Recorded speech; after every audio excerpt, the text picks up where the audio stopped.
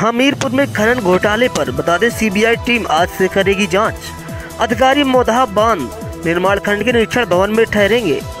बता दें अवैध खनन घोटाले की जाँच के लिए सीबीआई की एक टीम सोमवार को मोदहा बाँध निर्माण खंड के निरीक्षण भवन में आकर कैंप करेगी। इसको लेकर रविवार को निरीक्षण भवन को सीबीआई के अधिकारियों के लिए कैंप ऑफ़िस में तब्दील कर दिया गया है। सीबीआई के निर्देशों के अनुपालन करने के लिए अधिकारियों की तैनाती भी कर दी गई है।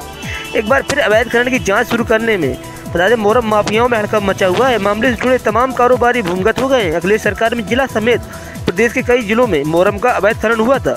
कई सौ करोड़ के अवैध खनन घोटाले को लेकर पिछले चार साल पूर्व हाईकोर्ट प्रयाग में याचिका दाखिल की गई, जिस पर हाईकोर्ट ने इस मामले की जाँच सीबीआई को सौंपी थी।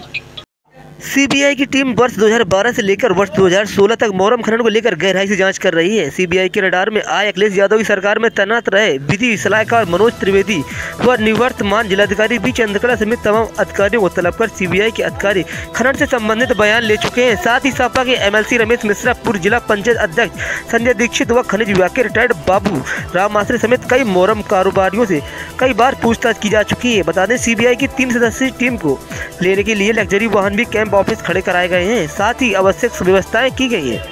समाज सेवी एवं याचिकाकर्ता विजय द्विवेदी ने बताया कि सीबीआई अब फाइनल जाँच करने आ रही है।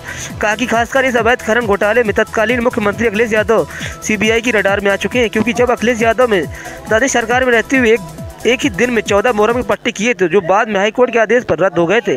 कुल तिरसठ मोहरम के पट्टे यहाँ कारोबारियों ने चलाए हैं, जो नियमों के विपरीत पट्टे दिए गए थे। सीबीआई के हाथ में अवैध खनन के साक्ष्य आ चुके हैं, इसलिए अब पाँच दिनों तक सीबीआई अंतिम जाँच करेगी।